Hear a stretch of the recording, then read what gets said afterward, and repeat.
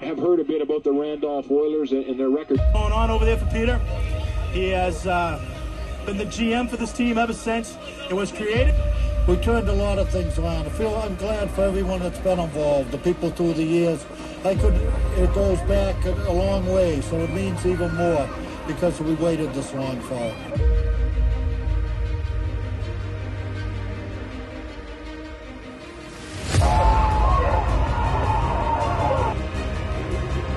Drops back, looks at Straw, throws behind him, it's picked off. This is going back a long way. That's Pagel, number 14, at midfield. He's...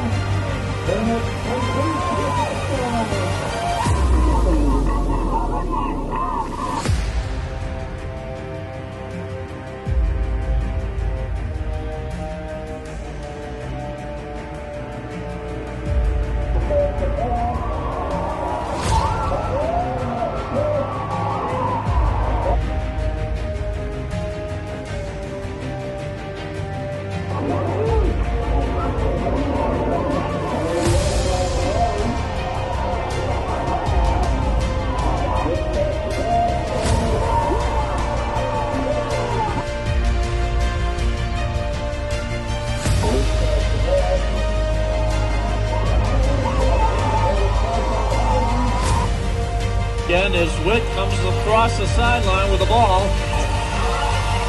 Four and four seconds Three, one. And that's it. There's your final. Teams can meet at the uh, center of the field. The Randolph Oilers, 1990 EFL League champions, 27 to 21. Peter O'Kane has waited a long time for this. And here is the trophy that they'll keep.